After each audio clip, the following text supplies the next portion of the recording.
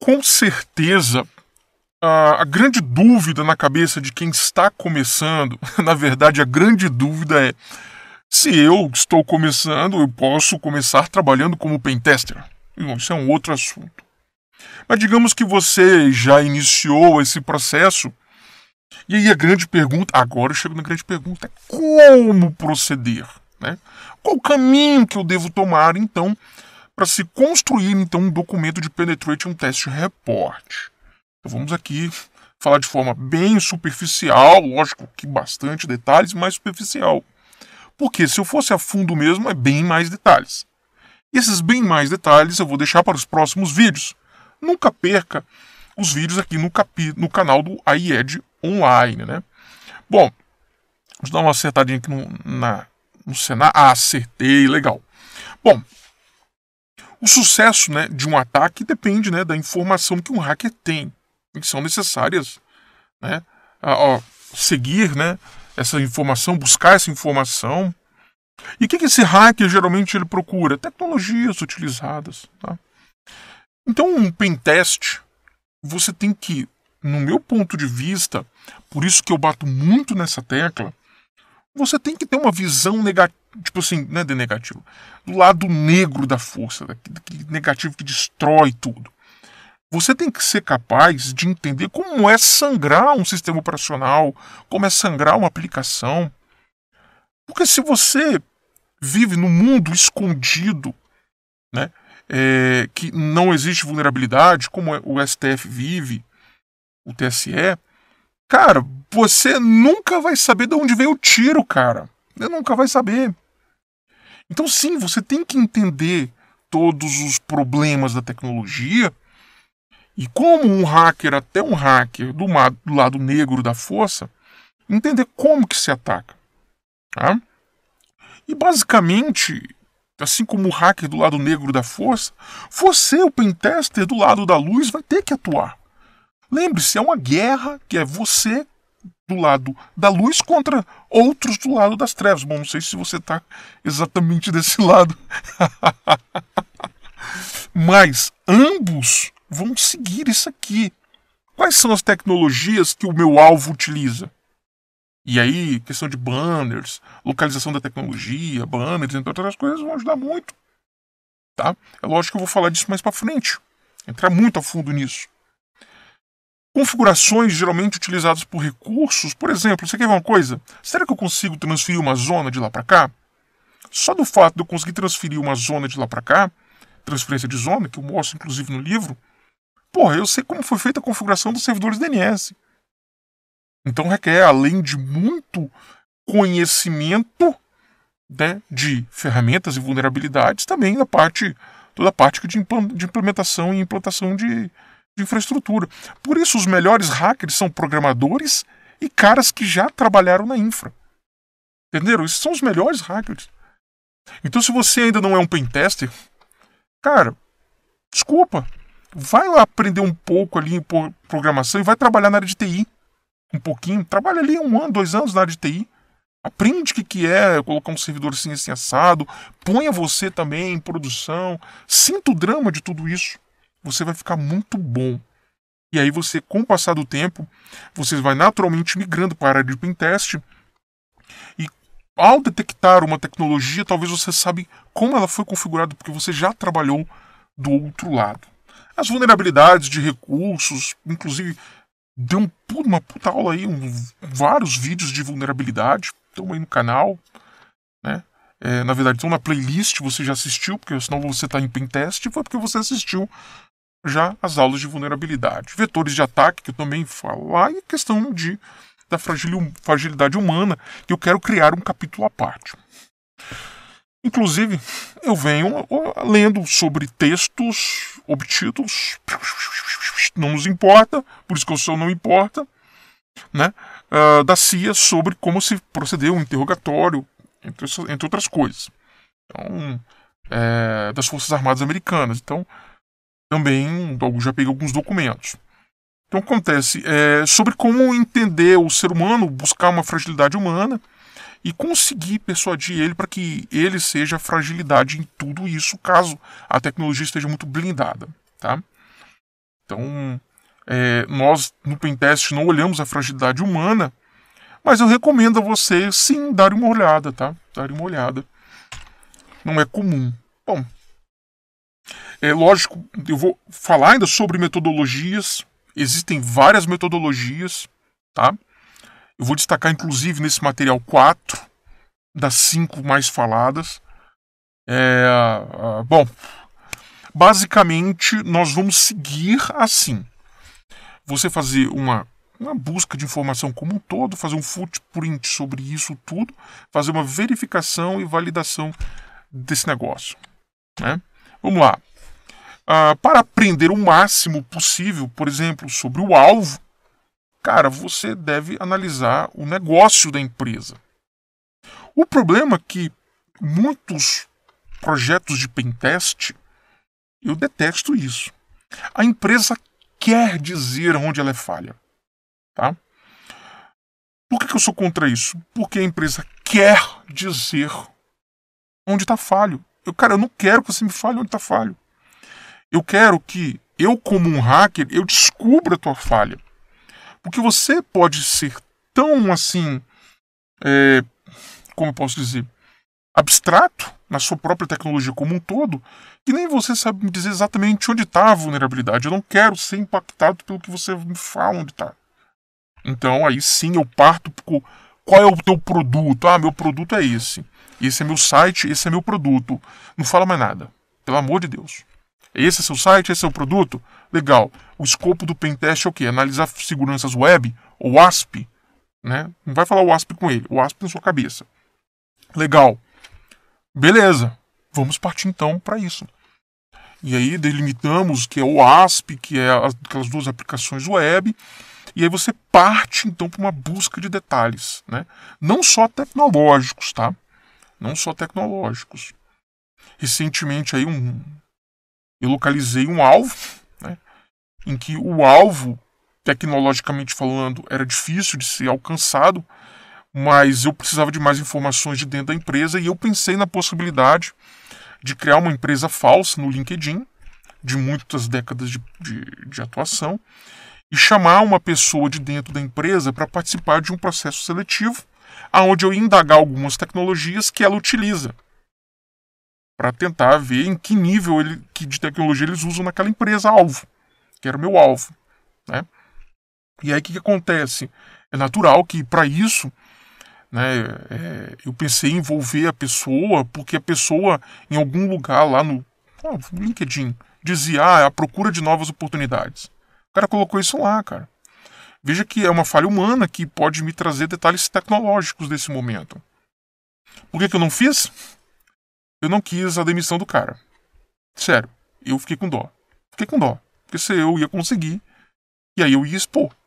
E aí eu ia ficar com muita dó do cara. Então, foi dó. Do, do, e peço, cara, tome cuidado com o que vocês falam no LinkedIn.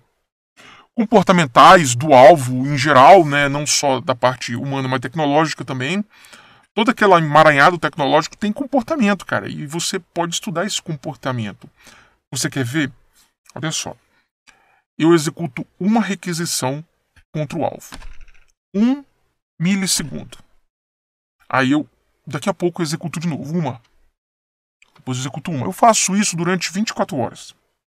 Sempre a média nessas 24 horas foi de um milissegundo. Legal, pô, legal. Aí, o que ocorre? Eu pego e disparo sem testes. Opa, não foi um não, 100 de uma vez. Frapt! Ele me retornou quase um milissegundo durante um dia. Só que se eu executo mil, ele já dobra 40%. Ele já dobra 40%. Ele já sobe 40%. Cara, esse é o comportamento da tecnologia deles.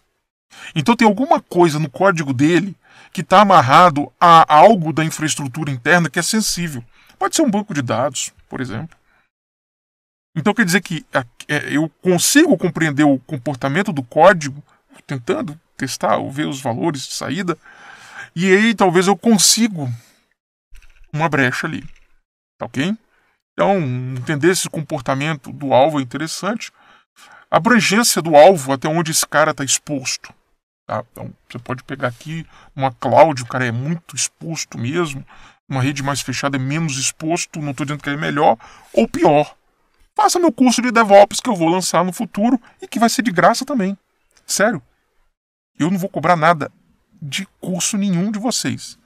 Curta sempre, compartilhe, esteja aí no, no canal ali como um cara ativo no canal, comente. O cara, ah, eu não posso lhe dar tipo membros do canal para te ajudar. Tudo bem, comenta aí, dá, dá uma força para me impulsionar, dá um joia, manda isso aqui, isso ajuda pra caramba também. Bom, a saída dessa fase, que é a partir de você fazer uma coleta de informações em geral, é uma lista de nomes, de produtos que eles têm, se os produtos são bons ou ruins, a questão de desempenho dá para ter uma noção também aqui, por que não? Departamentos da empresa. Muitas empresas, elas têm departamentos que têm produtos dentro dos departamentos. É um sistema de controle departamental desenvolvido pelo departamento, não pela empresa como um todo. Cara, N empresas são assim. Busque os departamentos de RH, financeiro, compras. Busca e vê o que, que os produtos têm. Busca de domínios relevantes, pessoas que são chave nesse processo como um todo. Então você busca todas as informações. Tá? Então, beleza, conhecendo esses produtos, veja, a empresa só deu o nome dela, eu já consigo saber que departamento ela tem, se o departamento tem um sistema, se não tem. Né? Depois nós vamos descobrir se esses sistemas são iguais, calma aí. É, vamos abordar também o segundo objetivo, que é o, o quão acessível essa, toda essa tecnologia é, que tipo de IP é, onde está esse IP, né? Ou seja, um trabalho no RUIS ali básico para nos trazer informações. Né? Leia notícias, comunicados na imprensa, relatórios, é, busque falhas de segurança, vai na Deep Web, vai em fóruns, se for algo público, governamental, né? À medida que você trabalha essas fontes, né? Você precisa de coletar nomes de domínios. Cara, é, busca transição de domínios, né? Tenta descobrir tudo que você pode. Tudo que você pode. Se eu sou uma empresa, um, uma coisa interessante é você contratar uma outra empresa para ser dona do seu domínio, e você tem um contrato com ela, para que fique o nome dessa outra empresa. E nessa, nessa coleta de informações não sai o nome da sua empresa. Né? Sai uma empresa de fachada, vamos colocar assim, aspa dupla, aspa dupla fachada. É... Ah, a Goldaddy faz isso, porra. Goldaddy faz isso. Você contrata pela Goldaddy. Ah, é local web. Local web faz isso. Lógico. Você vai ter um contrato agora com a Goldaddy, um contrato com a local web, porque o seu domínio é dela agora. Entenderam? Essa transferência de domínio. Ou você, sei lá, dá seu jeito aí, mas pelo amor de Deus, não deixe seu nome tão exposto assim, seu telefone, endereço e tudo mais. Bom, você pode ir no Google também, além do RUIS. Eu vou mostrar para vocês como se automatiza o RUIS, como se busca dados automatizados, por Python, por que não? Vou lhes ensinar, que é o que eu faço. E aí, naturalmente, você também pode ir no Google, asterisco, google.com, asterisco, por exemplo. Ele me traria ali todos os Googles do mundo. Olha que interessante. Então, se você busca o nome da sua empresa.com, asterisco na frente, asterisco atrás, vão vir coisas do departamento, departamentais. Porque geralmente o departamento, ou ele é um domínio, um subdomínio, ou ele é um diretório. Se for um diretório, vai vir atrás do .com.br. Se ele é um subdomínio, vai vir à frente do nome da tua empresa. Depende de como os caras fizeram a configuração. Pegaram a jogada? Então. E, e, muitos dados de DNS agora. Tem gente que acha que dados de DNS não servem pra bosta nenhuma. Cara, dados de DNS revelam muita coisa. Tá? Sim, é o primeiro passo seu, RUIS. E, naturalmente, você vai automatizar isso. Tem bibliotecas no Python para RUIS automatizadas. Tá? Só tome cuidado que é, esses servidores ruins eles vão te pôr um dia na lista de negação. Ou seja, você é um cara ruim para esse cenário. Por isso você tem que usar VPN. Você vai usar VPN para fazer essas consultas no RUIS. Tá? Alguns RUIS americanos não permite que você conecte com, pela Deep Web. Eles já colocaram todos os IPs da Deep Web já na blacklist deles. Mas de um RUIS brasileiro você pode. Inclusive nas bibliotecas Python você pode definir qual é o caminho, ou seja, .com, .com.br, .ar da Argentina, tá? Que você queira que seja feita essa, essa tradução. Lembrando que às vezes o cara tem, por exemplo, se fosse o IED Online, Prof. IED, IED Online, IED Edu, teriam vários possíveis nomes para o IED que seriam extensões, tá? Então você também tem que testar todas as possibilidades. E isso tem o fermentinha na web que monta para você. Mas posso ser sincero, porcaria. Você é muito mais capaz do que qualquer ferramentinha para a partir de IED montar todas as possibilidades. .com.br, isso é normal. Mas prof, IED, IED online, IED edu, porque é relacionado à educação, você pode montar essa listinha muito melhor que uma máquina. E aí você, naturalmente, faz essas pesquisas em diferentes CTLDs. Leia meu material de Linux, você vai entender esses dados técnicos tudinho. Galera, o mundo aqui do pentest, você tem que ser bom de conhecimento.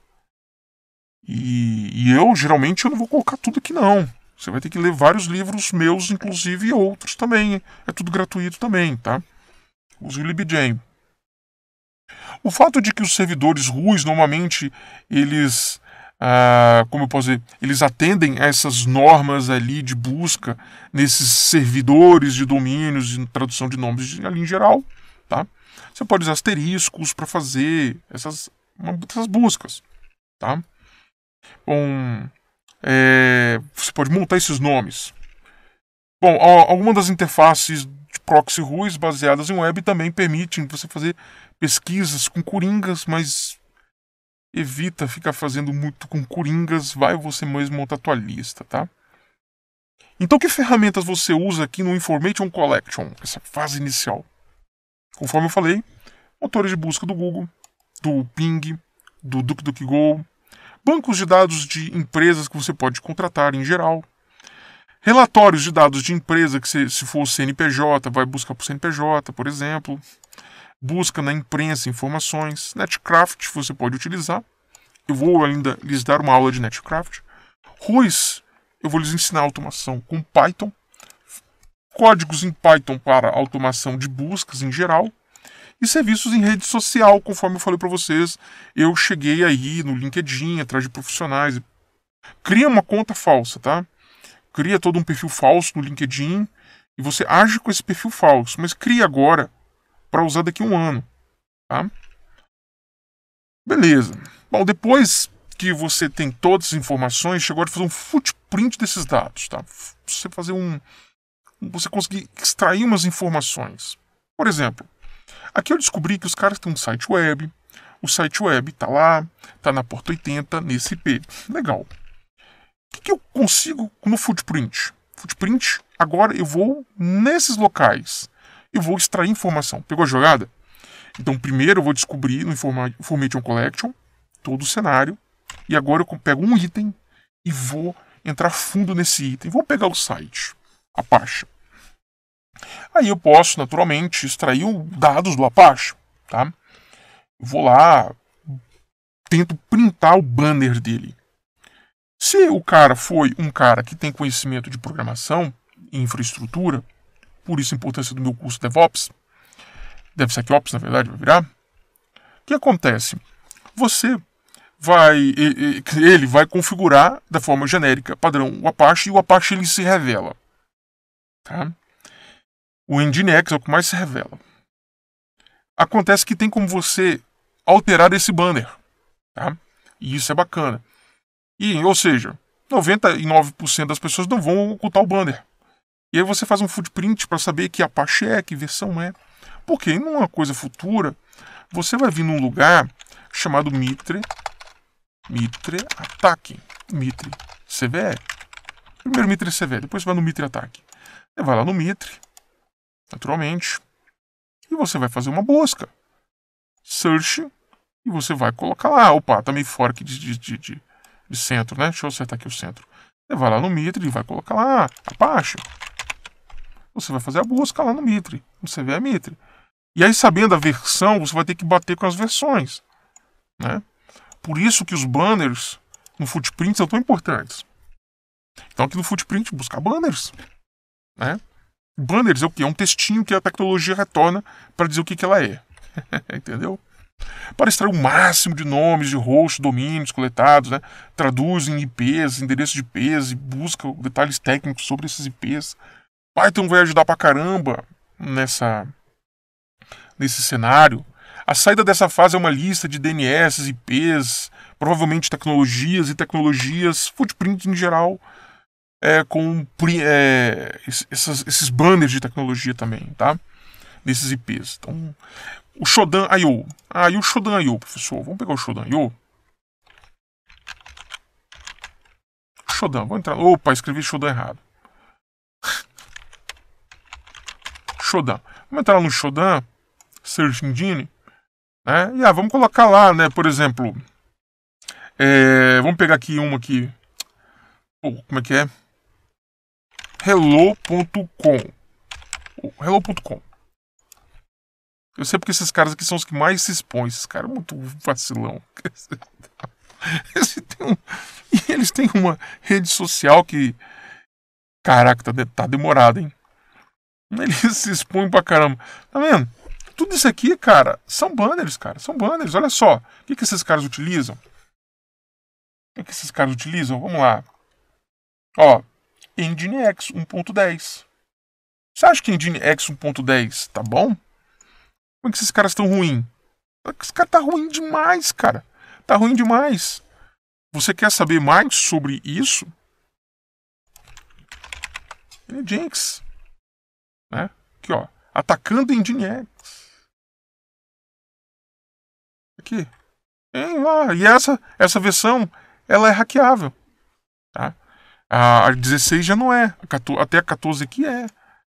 Então, ao conhecer as matérias sobre hacker, que tem o meu canal e também tem o, o The Rock News, né? The Rock News. Bom The Rock News, que o The Rock News eu já falei sobre ele, que você pelo The Rock News, você ele é sintetizado, né? E você consegue chegar à fonte, que são outros labs. Então você tem que todo dia, sério, dar uma olhada nas matérias do The Rock News e se você você vai acabar conhecendo onde estão os outros os outros é, as fontes, né? The Rock News é só uma síntese, né? Então como é que eu sei que o, esse Nginx ele é vulnerável? Porque eu conheço as notícias, porra. Então esse footprint vai me trazer essas informações de IPs, tecnologias, banners em geral, tá? Tente uma transferência de zona, DNS, eu ensino isso no meu livro, extrai registro de domínio, força extração de DNS, conecte-se a servidor de SMTP, busque banners de tecnologias em geral, vai no Shodan, dá seu jeito. É a parte que você vai buscar todas essas informações. Beleza? Importante. Bom, e aí, né, as fases 1 e 2 é possível utilizar tanto comando, ou seja, você vim aqui buscar a questão do Information Collection e Footprint, comandos para obter dados, transferência de zonas. Python ajuda, vai te ajudar muito, porque é muito manual. O ser humano também está nessa, tá? Não deixa o ser humano de lado, não. Beleza? E naturalmente, vocês vão né, é, tabular essas informações todinhas. Porque você, a partir do momento que você conhece da tecnologia e das vulnerabilidades, você vai conseguir, né, é, no futuro, localizar a melhor técnica. Porque um hacker ele faz tudo isso. Por que, que ele faz tudo isso? Que ele não vai querer te dar um milhão de ataques para acertar uma. Ele vai querer te dar um ataque para acertar uma. Ele tem que ser assertivo. Porque hoje, um dia, as infraestruturas têm muitas ferramentas anti-hacker, ok? Como IDS, por exemplo, WAF, né? É, WAAP, por exemplo, né? Ou várias tecnologias. E aí, ou seja, ele não pode ser ruidoso, criar ruídos. O ataque dele tem que ser preciso. Por isso que você tem que ser melhor que ele, tá? Por isso que pense no lado negro da força também. Próximo vídeo, vou continuar falando sobre essa questão. Vamos ver os próximos passos. Até a próxima.